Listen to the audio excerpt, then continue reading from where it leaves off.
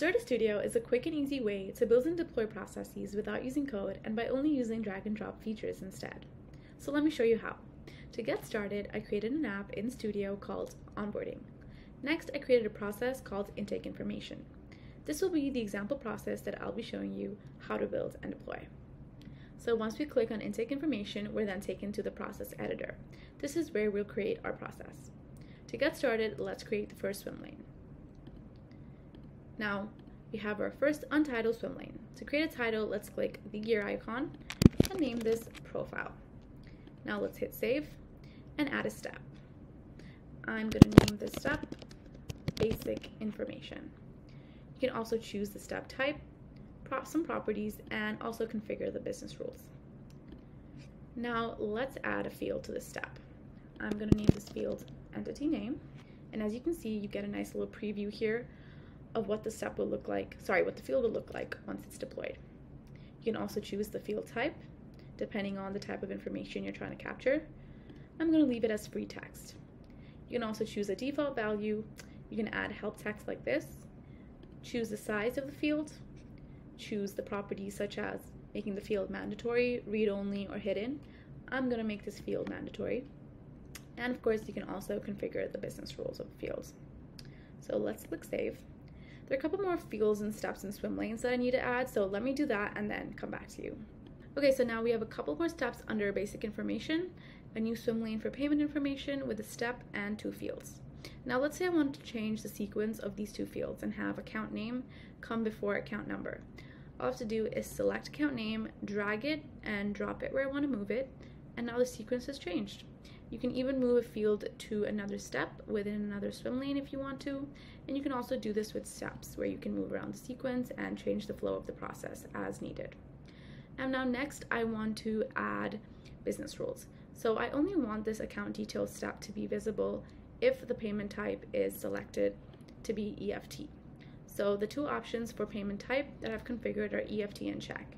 And if the user selects EFT, then only will the account details step be visible. So let's configure that. Let's go to the account details settings, rules, and configure. Let's add a rule. Let's name it show if payment type is EFT and add a condition if payment type is equal to EFT then the step is visible. So let's click save and now this icon shows up and we can see that this step has a conditional visibility on payment type. So only if payment type is EFT will this step be visible. Now I also want to add a visibility rule on contact number so that only if the entity name field has been filled out, the contact number field shows up. So let me do that and get back to you. Okay, so contact number also has a visibility rule on it now. As long as entity name isn't empty, the contact number field will be visible. Another feature you can utilize to build your process is our growing library of templates and modules. So our templates and modules are pre-configured steps and swim lanes that just make building your process a little bit easier. So for example, let me take this tax ID validation step and throw it in here. And you can see everything in this step is already pre-configured. All the fields are there, all the business rules, and even the integration has been configured. So it just makes things very quick and very easy. So let's just say I'm ready to now deploy this workflow and I want to see what it looks like. We have to go up here to save changes. Now let's go back to our app and let's click submit. Now let's hit deploy. Since this is our first deployment, let's just call it first commit and you can describe it as first deployment. Let's hit save and deploy. Okay, so the process has been deployed. Let's go check it out. Let's go to create new. There it is, intake information.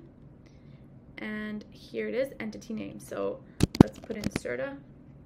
Now that entity name isn't empty, the contact number field shows up. So I'm gonna put in a number and I'm gonna select check as my payment type. So once I click submit, as you can see, this example template step that we put in in the end shows up, but not the account details step. But if we go back to basic information and select EFT, click submit, Now, like we had configured in the business rules, the account details step shows up as well. Okay, so let's go back and see how we can edit the workflow and then redeploy. So let's click edit and let's say we just don't want this template step anymore. So we're gonna click the three dots and hit delete. We'll click save changes. Let's go back and let's submit again. Let's hit deploy, second deployment, save and deploy. It's deploying. Okay, it's deployed. Let's go check it out. Create new, intake information, and let's see. Click CERTA again. Put in a number.